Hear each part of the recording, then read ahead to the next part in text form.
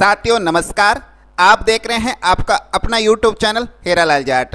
Computer knowledge for beginner in summer vacation इस श्रृंखला के तहत काफ़ी सारे वीडियो आप तक पहुँचा चुके हैं और आज इसी कड़ी में एक नया वीडियो आप तक पहुँचा रहे हैं, जिसका टाइटल है शॉर्टकट कीज और इसका पार्ट थर्ड आपके सामने प्रस्तुत है। आज आपको इस वीडियो के अंदर जिस शॉर्टकट की इंफॉर्मेशन देने जा रहे हैं, वो है कंट्रोल आपने देखा होगा जो आपके सामने कीबोर्ड है, उसका जो एंड के अंदर जो फ़र्स्ट में की हो है वो कंट्रोल की कहलाती है. और जो एरो की है, इसके पास में भी आपको ये कंट्रोल की दिखाई देगी. ये कंट्रोल की शॉर्टकट की के रूप में बहुत महत्वपूर्ण है. ए से लगाकर जेड तक, इन सभी अक्षरों से ये आपके शॉर्टकट की यूज़ होती है.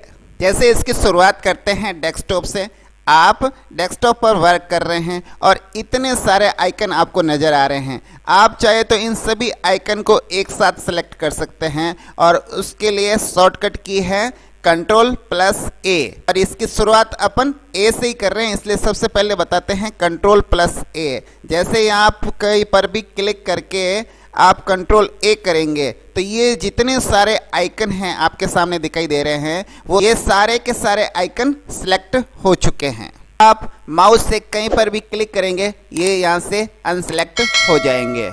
चले दोस्तों इस शॉर्टकट की का एम एस ऑफ़िस का एक एप्लीकेशन है एम एस वर्ड वो उस पर अपन करके देखते हैं एग्ज़ाम्पल के रूप में। एम एस ऑफ़िस का एक टूल है एम एस वर्ड और उस एम एस वर्ड की आपको सामने एक फ़ाइल खोली है, इस पर बहुत सारा मैटर टाइप किया हुआ है। आप चाहते हैं कि उसको एक साथ सेलेक्ट करें तो आप इसको एक साथ सेलेक्ट कर सकते हैं। जैसे माउस से कहीं पर भी आप क्लिक कर दीजिए, और उसके बाद कंट्रोल प्लस ए जैसे ही आप कंट्रोल प्लस ए करेंगे, ये पूरा का पूरा मैटर अगला शॉर्ट की लेते हैं कंट्रोल बी इसका क्या यूज़ है? ये देख लेते हैं। जैसे ही आप कोई कंटेंट सेलेक्ट करते हैं, जैसे अभी हमने इतना सा सिलेक्ट किया है, और इसको आप बोल्ड करना चाहते हो इस पूरे पैराग्राफ के अंदर, ताकि वो अलग से हाईलाइट होकर दिखे। तो आप कंट्रोल बी प्रेस कर दीजिए। जैसे ही आप कंट्रोल बी प्रेस करोगे तो ये आपके सामने हाईलाइट हो चुका है बोल्ड हो चुका है। जितना सेलेक्ट करोगे, उतना ही बोल्ड होगा। जैसे कि लिखा है ये वर्ड इस वर्ड को आपको यहाँ बोल्ड करना है। तो इतना सेलेक्ट किया और उसके बाद आप कंट्रोल बी कर दीजिए। जैसे ही आप कंट्रोल बी करेंगे, ये आपके बोल्ड हो चुका है। ये कंट्रोल बी उसके बाद में आगे चलते हैं कंट्रोल सी की तरफ़। कंट्रोल सी का मतलब होता है आपका मैटर टाइप किया है। अगर उसको आप कॉपी करना चाहते हो और अन्यत्र आप कहीं पेस्ट करोगे, उसके लिए पहले कॉपी करना पड़ता है। अगर आप उस मैटर को कॉपी करना चाहते हो तो आप सेलेक्ट कर दीजिए। अब ये आपने सेलेक्ट कर दिया और कंट्रोल सी जैसे आप प्रेस करेंगे तो ये मैटर आपके कॉपी हो चुका है। अगर आप देखना चाहते हो कि ये जो आपने कॉपी किया है, वो वास्तव में कॉपी हुआ या नहीं हुआ, इसके लिए ऊपर होम पेज पर एक ऑप्शन है, जहाँ पर paste cut copy format painter ये सब कुछ लिखा है। इसके नीचे एक तीर के निशान के पास क्लिप बोर्ड लिखा है। इसको आप क्लिक कर दीजिए तीर के निशान को। तो आपने जो कॉपी किया है, वो कंटेंट यहाँ बता देगा, इस क्लिप बोर्ड पर पड़ा है, आपने क्या कॉपी किया। पर क्या होता है कि कोई ऐसा वर्ड या ऐसी कोई लाइन होती है जो बार बार रिपीट करनी पड़ती है टाइप करते समय। तो आप उसको कॉपी कर लीजिए और जब भी आपको ज़रूरत पड़े, वहाँ पर आप पेस्ट कर सकते हैं। कंट्रोल डी वाला ऑप्शन देखते हैं। कंट्रोल डी के अंदर क्या होगा कि जो ये फॉन्ट का पूरा ऑप्शन है, ये पूरा डायलॉग बॉक्स खुलेगा फॉन्ट वाला। तो जैसे ही आप कंट्रोल डी प्रेस करेंगे, आपके सामने ये फॉन्ट का पूरा ही डायलॉग बॉक्स खुल चुका है, जिसके अंदर कौन सा फॉन्ट है कौन सी साइज़ है वो इटैलिक करना है या बोल्ड करना है, कितनी साइज़ रखनी है, उसके बाद उसके ऊपर क्या इफ़ेक्ट्स लगाने हैं, ये सारे के सारे ऑप्शन आपको यहाँ मिलेंगे। उसके बाद में करेक्टर्स एंगलॉग है, ये सारे फॉन्ट के ऑप्शन आपको यहाँ मिल रहे हैं। ये केवल कंट्रोल और डी ऑप्शन आप जैसे ही इस पर प्रेस करेंगे, ये बॉक्स ओपन हो जाएगा। आगे बढ़ते हैं, अगली शॉर्टकट की है कंट्रोल ई e. और जैसे ही कंट्रोल ई प्रेस करेंगे, आपने जो मैटर लिखा है, वो सेंट्राइज हो जाएगा जैसे यहाँ पर ये ऑप्शन है ना पैराग्राफ सेटिंग के ऑप्शन है, जिसके अंदर आप इसको लेफ़्ट कर सकते हैं मिडल में कर सकते हैं राइट में कर सकते हैं, और उसको जस्टिफाई कर सकते हैं लेकिन अगर आप माउस का यूज़ ना करते हुए सीधा कीबोर्ड यूज़ करें तो उसके लिए शॉर्टकट की है कंट्रोल और ई e। जैसे ही आप कंट्रोल और ई e करोगे, ये पैराग्राफ आपके सामने दिख रहा है। ये हो गया आपके सेंटर में। ये पैराग्राफ आपके सामने लिखा हुआ है। यहाँ पर आपने क्लिक कर रखा है। और जैसे ही आप कंट्रोल और ई e प्रेस करोगे तो पैराग्राफ भी आपके सामने सेंटराइज हो चुका है। का सेंस आप समझ चुके हैं। जो भी टेक्स्ट लिखा है, उसको सेंटर में करने के लिए है। और अगली शॉर्टकट की है, वो है कंट्रोल एफ़ कंट्रोल ऐप का मतलब फाइंड यहाँ पर आपको एक ऑप्शन नज़र आ रहा होगा, ये लेंस लगा हुआ फाइंड आप इस पे जाओगे, नहीं तो इसके लिए शॉर्टकट की है कंट्रोल ऐप सामने ये फाइंड वाला ऑप्शन आ गया है. ये इस बॉक्स को आप यहाँ चाहो तो यहाँ से भी ला सकते हो. जैसे फाइंड पे क्लिक करेंगे, वैसा का वैसा यहाँ पर बॉक्स आपके सामने आ चुका है। यहाँ से ये क्या काम आता है? जब आपको एम एस वर्ड की क्लास लेंगे, उस समय सारा कुछ बताएँगे। कोई भी वर्ड यहाँ टाइप करके आप यहाँ से सर्च कर सकते हैं। जैसे आप चाहते हो कि मैंने काउंटी शब्द लिखा है, वो काउंटी शब्द मुझे मिल जाए। तो आप जैसे यहाँ पर काउंटी वर्ड लिख के यहाँ पर करोगे नेक्स्ट तो आपके पास जहाँ काउंटी वर्ड लिखा है, ये हाईलाइट कर देगा। और नेक्स्ट करोगे तो यहाँ पर लिखा है, इसको हाईलाइट कर देगा। इतने बड़ा पैराग्राफ है, उसमें से कोई वर्ड आपको ढूंढना है तो ये फाइंड वाला ऑप्शन काम करेगा। और जब एम एस वर्ड की क्लास चलेगी तो उस समय इसको और अच्छे से आपको बताएँगे। शॉर्टकट की है, वो कंट्रोल जी और ये कंट्रोल एफ़ और कंट्रोल जी लगभग वही है जो आपको अभी ऑप्शन दिखाया। कंट्रोल जी जैसे प्रेस करोगे तो ये गो टू वाला ऑप्शन आएगा फाइंड और रिप्लेस करने के लिए।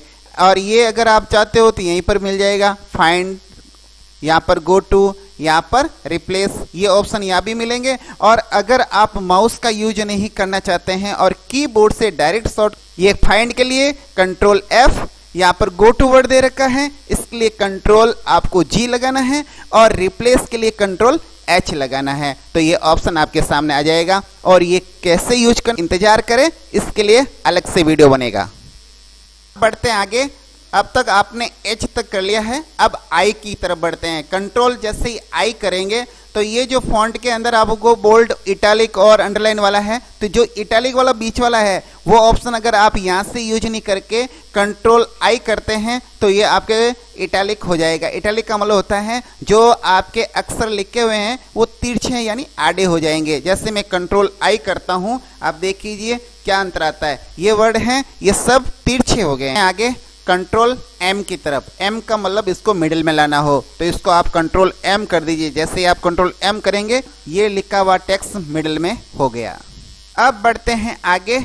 अगला है ऑप्शन है कंट्रोल एन कंट्रोल एन का मतलब होता है, अगर आप इस डॉक्यूमेंट पर वर्क कर रहे हैं और एक नया डॉक्यूमेंट्स खोलना चाहते हैं, एक नई फ़ाइल खोलना चाहते हैं तो आप कंट्रोल एन कर दीजिए। आपको यहाँ पर जाकर, यहाँ पर से न्यू फ़ाइल लेने की ज़रूरत नहीं पड़ेगी। आप चलते चलते वर्क के अंदर कंट्रोल जैसे ही एन करेंगे, एक नया डॉक्यूमेंट्स आपके सामने ओपन हो जाएगा। अब अगला ऑप्शन है कंट्रोल ओ कंट्रोल ओ का मतलब होता है, अगर यहाँ पर जो भी आपकी फ़ाइल है, आप कंट्रोल ओ करोगे तो ये फ़ाइल आपकी सेव हो जाएगी। जैसे आप कंट्रोल ओ कर रहे हो तो ये आपको सेव के लिए यहाँ पर ऑप्शन मांगेगा। आप नाम दे दो यहाँ फ़ाइल का, और जहाँ रखना चाहते हो, वो फ़ाइल सेव हो जाएगी और वापस ओपन भी हो जाएगी।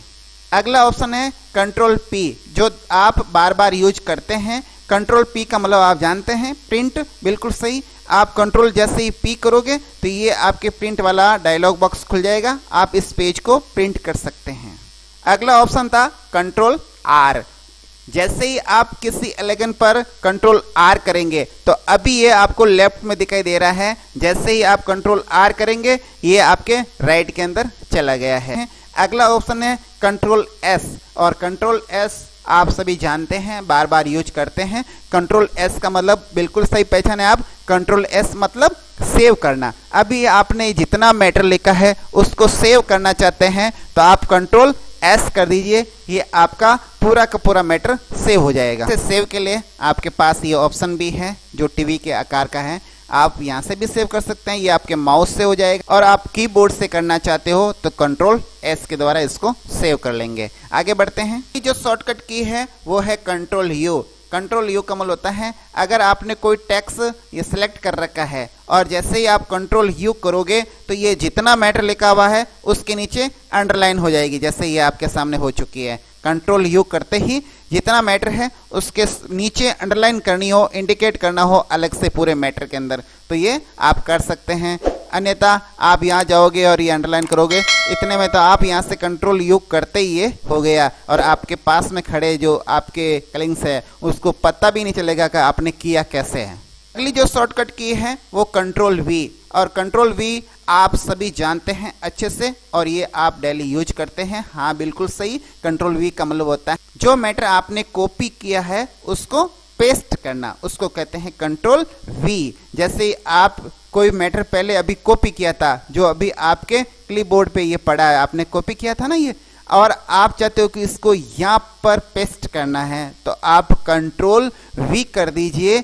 आपका मैटर यहाँ पर ये पेस्ट हो जाएगा। ये पेस्ट हो गया आपके सामने। और आप माउस से करते हैं तो यहाँ से ये पेस्ट का ऑप्शन है। आप यहाँ से पेस्ट कर सकते हैं। लेकिन आप कंट्रोल वी से फटाफट पेस्ट कर लेंगे इस शॉर्टकट की से। अगली जो शॉर्टकट की है, वो है आपके कंट्रोल डब्ल्यू कंट्रोल डब्ल्यू का मतलब होता है, आप जिस डॉक्यूमेंट्स पे वर्क कर रहे हैं, वो डॉक्यूमेंट्स क्लोज हो जाएगा। जैसे आपने किया कंट्रोल डब्ल्यू तो ये आपके कहेगा do you want to save this documents जैसे ही आप इस डॉक्यूमेंट्स को सेव करके ये ऑप्शन लगाएँगे कंट्रोल वाई का मतलब होता है रिडू और कंट्रोल जेड का मतलब होता है अंडू अंडो का मतलब आपने जो पहले किया था वो वापस लाना है, आगे और पीछे ले जाने के लिए। और इसके लिए आपको यहाँ पर भी ऑप्शन मिलेंगे। आपको ये जो तीर का निशान दिखाई दे रहा है, ये अंडो का है, और ये जो तीर का निशान दिखाई दे रहा है, वो रिडू का है, वापस रिपीट करने के लिए। प्रकार से आपने कंट्रोल ए से लगाकर कंट्रोल जेड तक सारे जितने भी वर्ड्स थे, उन पे जितनी शॉर्टकट की बनती हैं, वो सारी शॉर्ट की आज आपको बता दी है। अब आगे आने वाले वीडियो के अंदर एम एस ऑफ़िस का जो पहला पार्ट है एम एस वर्ड वो लेंगे। आप हमारे साथ ऐसे ही बने रहे। आपसे फिर से मिलने का वादा करते हैं। तब तक के लिए नमस्कार, वंदे मातरम, जय हिंद।